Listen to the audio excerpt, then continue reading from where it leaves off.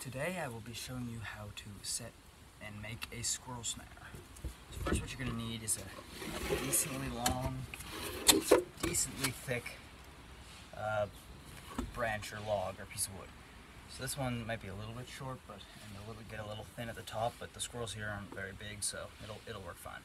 Next, what you're gonna want to do is make sure there's no like little sticks and stuff coming off. Like you want to smooth it down a little bit. This one found like cut somewhere, I forget. But uh, so like any of the branches are kind of are cut off, even if it's not perfect. But this one doesn't really have any little sticks coming off of it. The main thing you're actually gonna need is snare wire.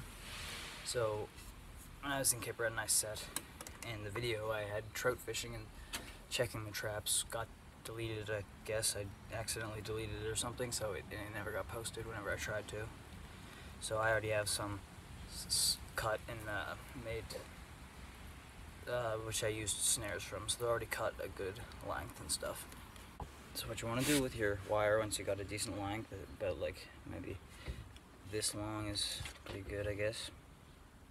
Depending on how thick your log is, which has to be decently, not too thick though.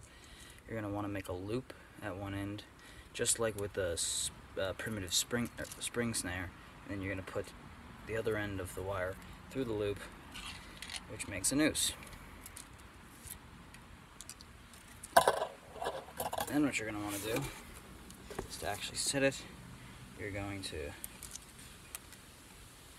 take your wire and put it around your log. You need to make sure you know what side you want facing up of the log and then once you have it wrapped around you want it to be pretty decently tight I'd say. So you don't want it yeah you don't want it sliding. So it should be tight.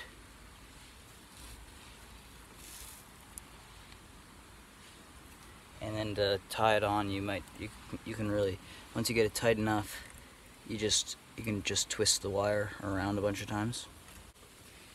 Okay and then the way how the trap works is the snare sorry is you have your noose and it you want there to see others like actually here wait I'll do it on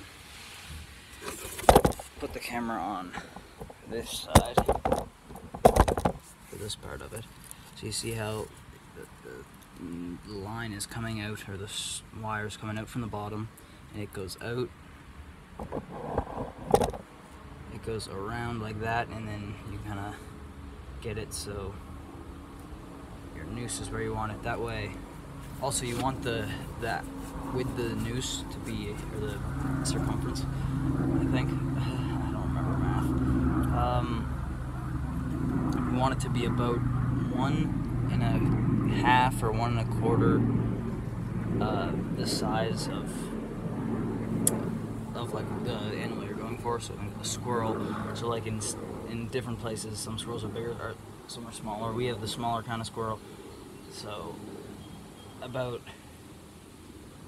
that size is probably decent.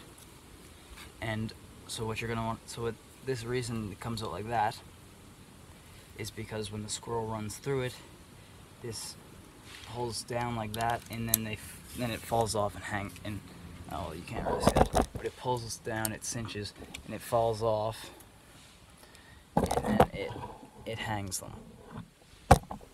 So that's how this works. But now let me,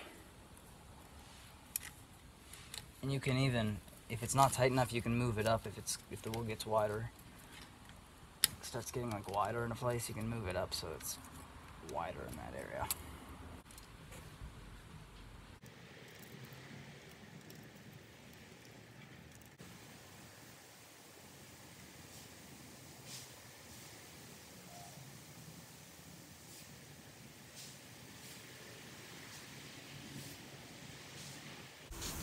And I got four snares set.